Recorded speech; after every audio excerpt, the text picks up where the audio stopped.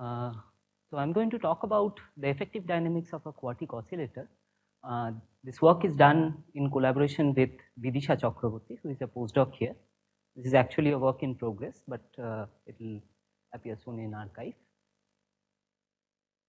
Uh, so the effective theory framework is a very useful tool to study the dynamics of open quantum systems.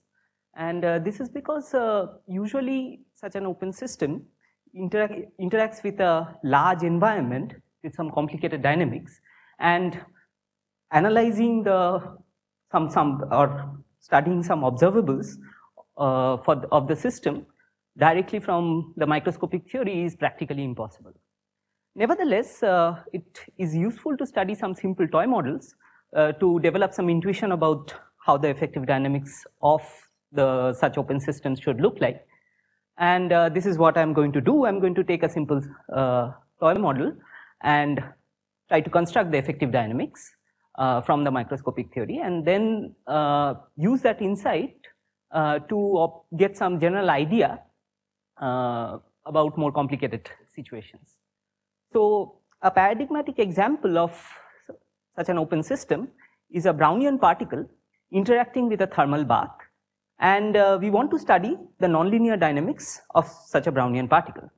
So we will consider a particular model where the bath is made up of two sets of harmonic oscillators which we denote by xi and yj and the particle couples to this bath via cubic inter interactions involving two such oscillators one taken from each set. So this is the Lagrangian of the model so apart from the terms for the particle and the bath separately, you have a interaction between the particle and the bath. The position of the particle is given by q. Uh, so there's a cubic interaction of the form xi by jq and the bath oscillators are at a finite temperature 1 by beta. We are going to take the high temperature limit. So beta is actually very small. Uh, the bath operator that couples to the particle is of this form and the thermal correlators of this operator actually contribute to uh, to the effective dynamics of the particle. And we want to take into account while looking at the effective dynamics, we want to take into account the two point the contributions of two point functions and four point functions of this operator.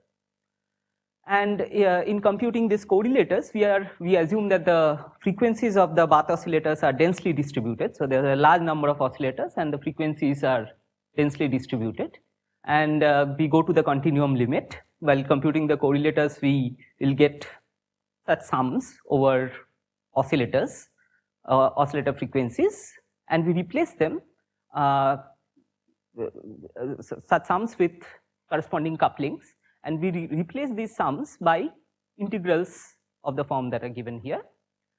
And uh, so these continuous functions of the frequencies, the are, are, are we, we assume a particular form for these uh, continuous functions which are given here. And here you can see that gamma 2, there's an overall factor gamma 2 and gamma 4 in these distributions.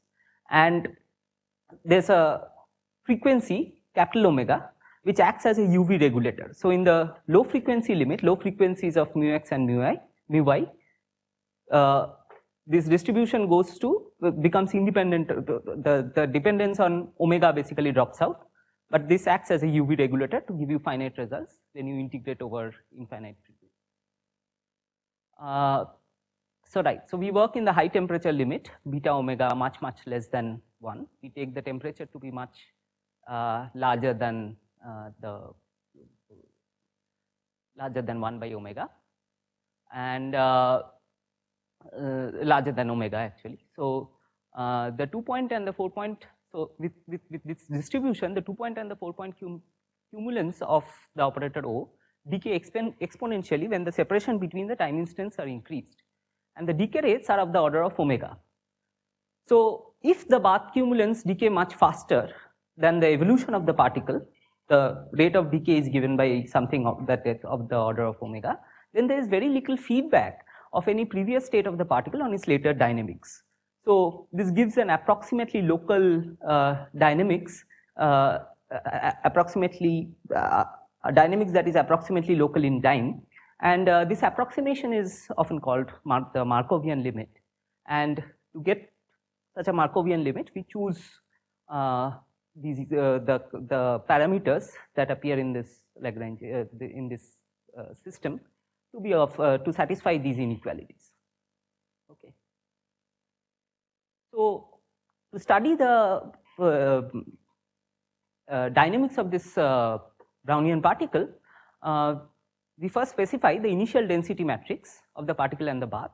So, the, so in, we assume that initially they are unentangled and then we ask uh, how does this density matrix evolve and one can uh, actually obtain a path integral rep representation of such uh, of the density matrix at uh, some later time uh, TF uh, where the path integral has to be performed on a contour which, which is shown here.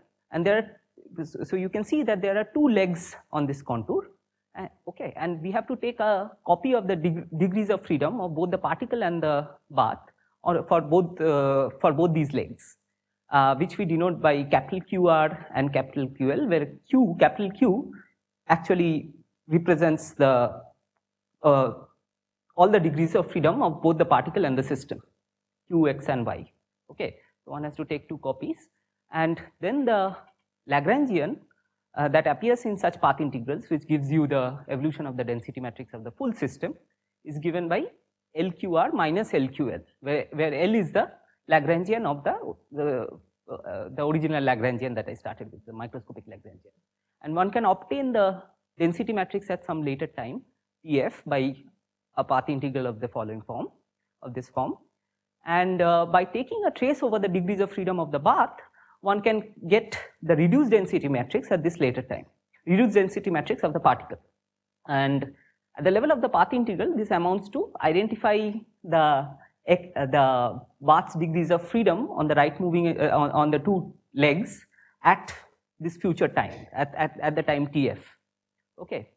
And uh, so in the evolution, in the evolution of this uh, reduced density matrix, one can one can actually express the path integrals in terms of uh, just the degrees of freedom of the particle by integrating out the Bath's degrees of freedom. And this will give an effective action for the evolution of the particle's reduced density So, uh, so this effective action has to actually satisfy certain uh, uh, conditions uh, which are based on unitarity uh, and also the also the uh, a certain symmetry in the in the problem. So this uh, the microscopic theory uh, you can check has this symmetry that under q going to minus q, xi going to minus xi, and y going to y minus y going to y. There's a symmetry in the Lagrangian, uh, or you can also exchange x and y, and you'll have a similar symmetry. So these symmetries imply that all the odd degree terms in the effective action of the particle vanish. And in the Markovian limit, the effective action has the following form. form. So we keep up to quartic terms in the effective action. That's why we are calling it a quartic oscillator. So, and we express it in express this action in terms of two degrees of freedom, QA and QD, which are defined in terms which are basically the average and the difference of the uh, QR and QL fields. Okay, and uh, here we are working in units where the particles uh, renormalized mass, the mass that it has after you take into account the contribution of the bath, the particle bath interaction. Uh, we work in units where this renormalized mass is unity. So, uh, so one can show that this quantum effective theory of the particle is actually dual to a classical stochastic dynamics governed by a nonlinear Langevin equation. And uh, the duality goes as follows. So, let q be the stochastic variable, then the correlators of the correlators of QA that you can compute from the uh, path integral that I, the path integral in the quantum mechanical theory that I uh, wrote down just now.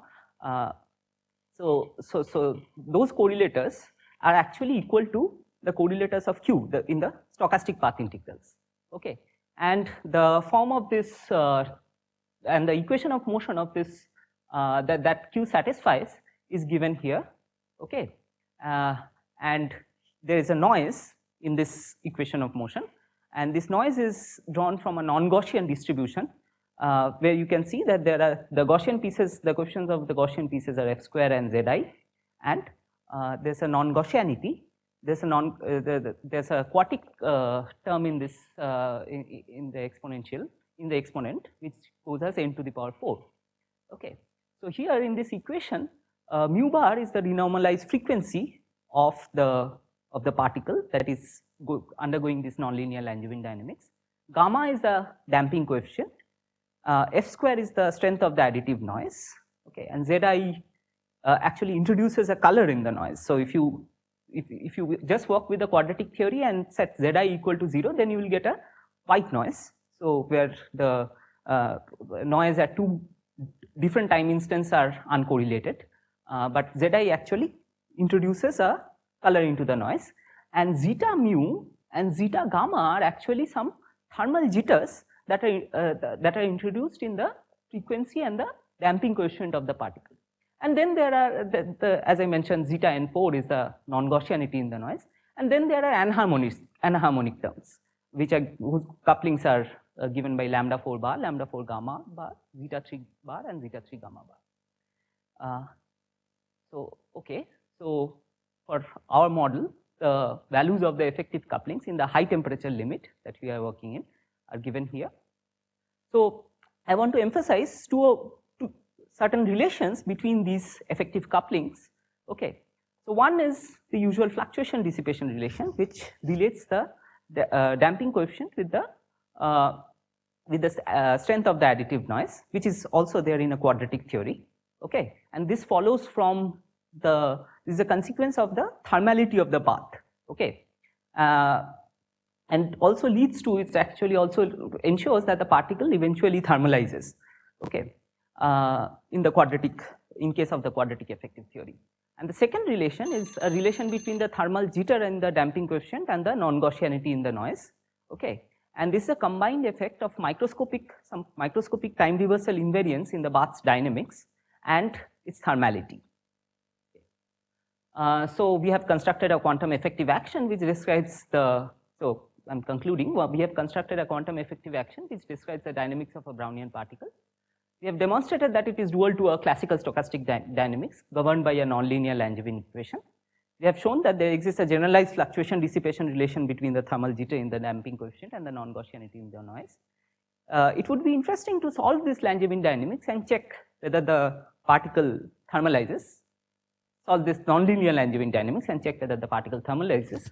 If it thermalizes, then there should be some indication of uh, uh, breakdown of microscopic reversibility in the equilibrium state when the uh, generalized fluctuation dissipation relation is not satisfied. It would be interesting to find what, what, what, what is the signal of such breakdown of microscopic reversibility in the equilibrium state. Uh, and it would be also interesting to see whether this effective dynamics exhibits chaos in any parameter regime. Uh, another thing that one can try to do is to construct a hologra holographic dual description of this Brownian motion in terms of a string moving in some uh, black hole background. And it would be interesting to check the generalized fluctuation dissipation relation that I mentioned in such a setup. Thank you. Questions, comments?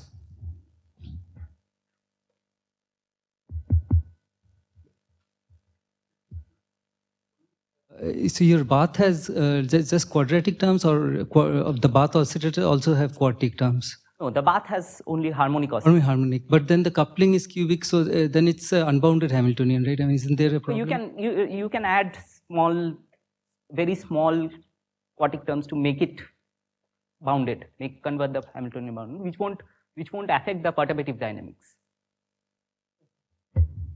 So other question is, uh, I mean, if you, I, I, guess you could do everything also for a, for a completely classical system, right? Yeah. All this. Yeah, uh, completely classical. Well, with the uh, in this case, we were working with a quantum theory. One can take a classical limit of that. Yeah. Calculation for a completely classical system. Yeah. Is that easy to do? Because then it's uh, like, if you want to check the theory, it's much easier to do it in a classical system like which theory are you talking like finally you have an effective Langevin equation which involves some perturbation yeah, that's a completely classical description. That's a classical saying, stochastic uh, problem. you, uh, your underlying system is quantum right? But i'm saying you could do the whole thing completely classical yeah yeah yeah. You can take a classical limit of the original problem and there you can you you you would expect to get a, uh, a corresponding limit in the Langevin dynamics. Effective in the So here, right now your noise involves like some cot hyperbolic uh, H cross and all that, is it? Like there's a Planck's constant in the noise correlation, in the couplings in the couplings that appear not There are- noise correlation. uh, noise correlators. Noise correl- Usually the zeta n. The, for instance, there, there's a four-point function of uh, uh, noise now, the, which is non-zero. The kind of the cumulant uh, of some four-point function of the noise, where you have the zeta n, right? The the non-Gaussianity parameter, zeta n four, right? And you are asking whether there's a there's an h bar expansion of that. Yes, there's a there, would be. So, so one can take a classical limit of these parameters and yeah, yeah, one can study this. In, in- at least in a concrete problem, one can one can see what what what the what uh, these uh, couplings are in terms of the like in this case, I gave the uh, gave the form in the high temperature limit, which is where the particle would roughly behave like a classical particle? So the regime where we are looking at is actually such a regime where you would expect a roughly uh, expect roughly the system to behave like a classical system. Yeah, that's what I'm trying to do. Yeah, yeah. So, uh, If- you're talking about starting from the microscopic theory. So microscopic theory, yeah, microscopic theory. The problem is that you uh, the problem of considering some finite system. I mean, so yeah, yeah, yeah. One can try to do that, but uh, we have not looked at it as yet. Any further questions?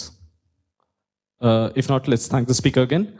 And let's thank all the speakers of this session because this is the end of the session.